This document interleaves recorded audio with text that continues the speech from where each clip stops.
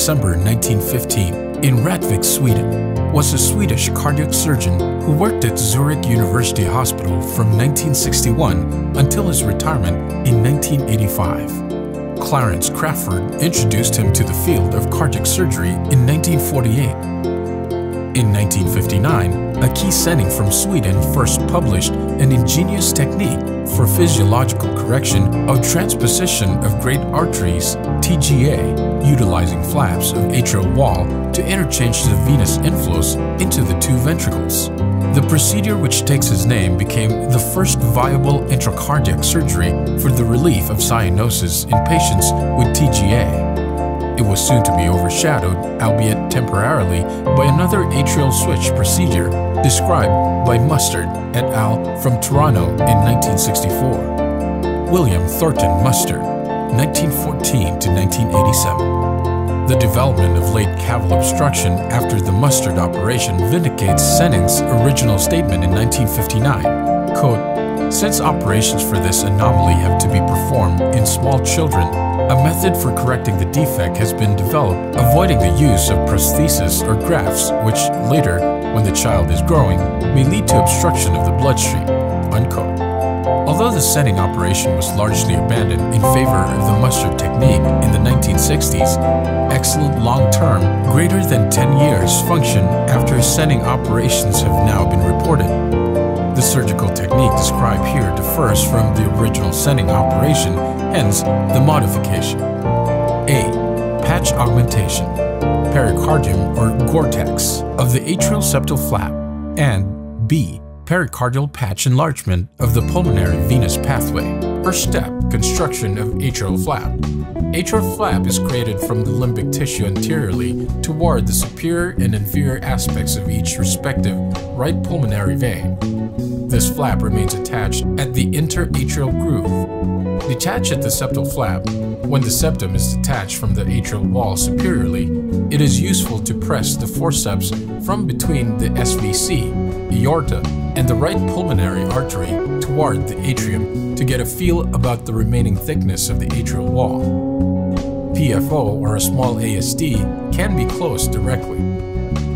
Alternatively, it is possible to make a cutback in the coronary sinus that will provide a second flap, which, sutured to the septal flap, will provide enough tissue. The coronary sinus cutback also enables us to construct a wider IVC channel. It is important to place the scissors deep into the coronary sinus or to place them over a pair of forceps. The cutback is then made into the coronary sinus with one single cut. Second step, construction of partial pulmonary venous pathway. Here, we demonstrate two methods with first step. In the first scenario, if there is a patent foramen ovale, PFO, or a small atrial septal defect, ASD, both of them can be closed directly. Then, this native septal flap is detached for creation of partial pulmonary venous pathway by keeping the base of this native septal flap attached to the atrial septum. The suturing starts at the far end of the left atrium on the ledge of muscle that separates the opening of the left atrial appendage and the opening of the left pulmonary veins. A double-ended suture is used to approximate the midpoint of the atrial septal flap to the midpoint of this ledge of muscle. The two ends of the suture are then used to continue the suture line superiorly and inferiorly. Superiorly, the upper margin of the flap is sutured to the roof of the left atrium. It is important to keep the suture line as far back into the left atrium as possible so as not to compromise the SVC pathway into the left atrium. It is also important to keep the lengths of the flap and atrial wall equal so as not to have excessive tension on the suture line since the roof of the left atrium is relatively mobile.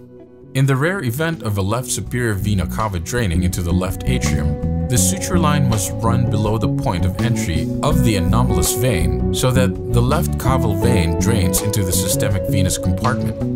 The inferior margin of the flap is sutured to the ridge raised behind the mitral valve in the floor of the left atrium, keeping a safe distance of 5 millimeters away from the posterior mitral annulus. This portion of the left atrium can be plicated without any consequence if the inferior margin of the atrial flap is shorter. This suture line ends at the floor of the right atrium close to the opening of the coronary sinus at the lower end of the atrial septum. The adequacy of the space behind the atrial septal flap is checked at this point to ensure that the left pulmonary veins have unhindered egress. The second scenario is using an autologous pericardial patch as demonstrated. Then the left atrium to its origin at the SVC. These suture lines should diverge so as not to constrict the posterior pathway for left pulmonary venous return, principle of suturing. The right flap and the left flap of this atrial flap can also be referred to as inferior border of flap and superior border of flap respectively. One arm of the double-ended suture attaches the flap superiorly, staying below the cut edge of the septum. The lower suture line runs towards the stay stitch below the right inferior pulmonary vein. This completes the floor of the SVC and IVC channel. Third step, construction of the IVC pathway and SVC pathway. IVC pathway the posterior base right atrial flap is sutured from the lower angle around the IVC. The caval pathway is completed anteriorly by stitching the caudal extent of the right side of the free right atrial wall to the atrial tissue about the IVC orifice and continuing to the coronary sinus. The coronary sinus is left to drain with pulmonary venous blood. If the coronary sinus has been incised, the coronary sinus blood drains within the systemic venous pathway. The suture line is placed posterior to the remaining rim of the coronary sinus to avoid injury to the atrioventricular node, AV. Construction of a wide IVC pathway is this ensured by inserting a temporary short stent cut from a chest drain or piece of plastic tubing. SVC pathway a second suture is used to complete the superior attachment around the SVC and along the limbic tissue. Both the IVC and SVC pathway flaps are sutured to the free edge of the anterior limb of the atrial septum, anterior mitral annulus, thereby redirecting the systemic venous return through the atrial septal defect to the mitral valve and left ventricle. Fourth step, completion of the final pulmonary venous pathway. The perimeter of the left atriotomy is extended by incising onto the right superior pulmonary vein for a distance of about 1 centimeters. The pulmonary venous pathway is constructed by initially placing an interrupted 6 over 0 Prolene sutures from the appropriate point E on the free right atrial wall to the edge of the incision, point F, between the right pulmonary veins. Interrupted sutures attach the remaining segment of this flap to the rightward edge of the left atriotomy in order to complete the pulmonary venous pathway. Interrupted sutures theoretically should not restrict future growth in this area. Anterior-based RA flap was sutured to the in situ pericardium between the SVC and the IVC so as to make a pulmonary venous chamber, and this chamber was used to redirect the pulmonary venous return into the tricuspid valve, leaving the coronary sinus either in systemic venous confluence or pulmonary venous confluence. Caval snares are now released. Rewarming is started. Air is carefully evacuated from the heart via aortic needle vent. This vent is kept on low suction until we are ready to discontinue bypass pathway. Scientific achievements of Ake Senning 1. Heart-lung machine It was Clarence Crafoord who put him in a windowless basement room at the Karolinska University Hospital in Stockholm and gave him the task of developing a heart-lung machine, which he succeeded in doing in a relatively short time. This achievement by Senning shows that external working conditions are never general prerequisites for the success of work. 2. Roller Oxygenator developed roller oxygenator, which was successful in animal experiments in 1951 and successfully used in the world's second operation on humans and the first in Europe in 1953. 3. Open heart surgery on humans. Together with Clarence Crafoord, he performed the first successful open heart surgery on humans in Europe using the heart-lung machine in 1953 further development of the heart-lung machine according to Crafoord, Senning, 1951. 4. implantable heart pacemaker. Together with the electrical engineer Rune Elmqvist, Ake Senning developed the first implantable pacemaker in 1958, consisting of two externally rechargeable nickel-cadmium cells and a blocking oscillator, pulse amplitude 2.5 volts, duration 2 milliseconds, frequency 70 Hz, with two germanium transistors. The components of the first device were placed in a shoe polish box, and this was filled with epoxy resin. However, Senning was opposed to any medical patent on the grounds that valuable time would be lost and that the suffering people would only benefit from his idea much later. He repeatedly said, quote, Medical discoveries belong to the patients and not to the inventor. If we hadn't invented it, someone else would have done it tomorrow. Unquote.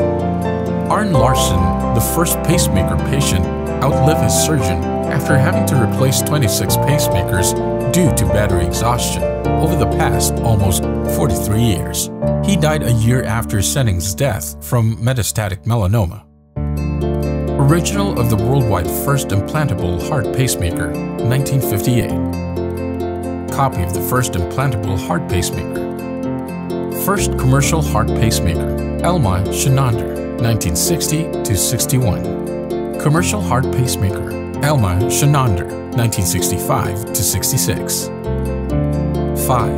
Senning's operation. In Senning's neighbor's house in Sweden, a child died of transposition of the great vessels. Inspired by this sad case, Senning spent all night scribbling drawings on paper that only he could read. With his enormous three-dimensional imagination, Senning's surgical method for correcting transposition of the great vessels was created that night, which was to make history as the Senning operation. Senning's operation 6. Electrically induced ventricular fibrillation. As early as 1951, he completed the extracorporeal circuit technique using electrically induced ventricular fibrillation during cardiac arrest to prevent air embolism and hypothermia to reduce oxygen consumption. Later, it was replaced by drug-induced cardioplegia. 7. Correction of defective confluence of pulmonary veins with left atrium. In 1956, he performed the first total correction of a congenital malposition of the junction of the pulmonary veins with the left atrium. 8. World's first operation on the coronaries using the strip graft technique. Since 1955, long before the first bypass operation by Rene Favaloro in Cleveland in 1968, Senning had been experimentally and later clinically involved in coronary surgery. In 1958, he successfully performed the first coronary operation, that is, the first endarterectomy of the coronary arteries, which was completed with a vena vena graft. 9 correction of an atrial septal defect in 1959. 10. Surgical technique of left atrial bypass. In 1963, followed the first successful use of a left heart bypass, the first step for the LVAD, left ventricular assist device, the artificial left heart, so common today. 11. Development of an aortic valve replacement. Together with Donald N. Ross in London, Senning also opened the way for anticoagulation-free follow-up of heart valve patients.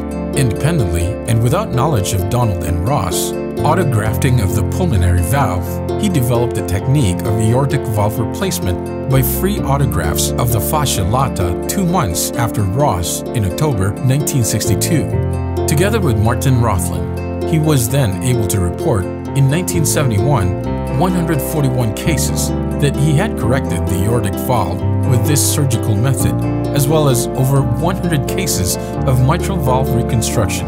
Again, this was one of his early Zurich achievements that was adopted throughout the world. 12. Kidney transplants.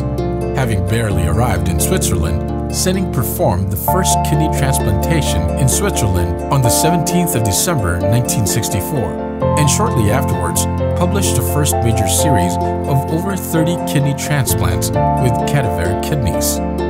It is worth mentioning here that Senning's first kidney transplant series was the first to be published worldwide, and that it was groundbreaking for the subsequent Largiadèr era. 13. Heart transplants. On the 14th of April 1969, Senning performed the first heart transplantation in Switzerland, and shortly afterwards the second. Christiaan Barnard, the great South African heart surgeon, needed seven hours for the first heart transplant, whereas Senning needed three hours for the first and only two hours for the second, and this already in 1969. 14. Correction of a Budd-Chiari syndrome. A milestone was the ingenious correction of a Budd-Chiari syndrome crowned with success in 1981 in which he surgically removed the outflow stenosis of the hepatic veins through the right heart. This opened up a new path for liver surgery. This idea was in turn so groundbreaking that the Banno liver puncture, a routine method, has nowadays been replaced by the transvenous transatrial liver biopsy. This eliminated the risk of intra-abdominal hemorrhage. 15. Balloon dilatation Andreas Grüntzig, who first performed the now widely used coronary balloon dilatation in Zurich on the 16th of December 1977, needed Senning's assistance because the delicate coronary vessel could rupture during dilatation and the patient could die shortly afterwards. Ake Senning and Marko Turina Croatian cardiac surgeon were standing by next to Grüntzig so that, in the event of a rupture of the coronary artery, they could intervene immediately with the surgical team standing by in the animal experimental laboratory. 16. First intensive care unit in Central Europe was installed on the 17th of April 1961. 17. Further developments A. Development of the intra-arterial vascular coil a precursor of the intra-arterial vascular prosthesis, together with Dirk Moss. B. Various pacemaker electrodes together with István Babotai. C. Baby heart-lung machine together with Babotai and Marko Turina. D. Left diaphragm replacement with pedicled pericardial valves together with Paul Hahnloser. E. Technique of kidney transplantation together with Felix Largiadèr. Removal of renal artery stenosis together with George Mayer and Ernst Zing. G. Small Senning Bulldog clamp. Senning suction cup. Senning Babotai valve of the Siemens respirator. Babotai helix electrode. 18.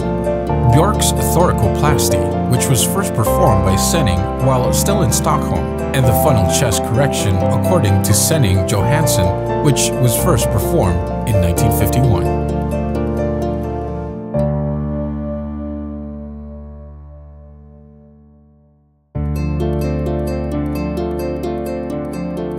Ake Senning, RIP, 21st of July, 2000, in Zurich, Switzerland.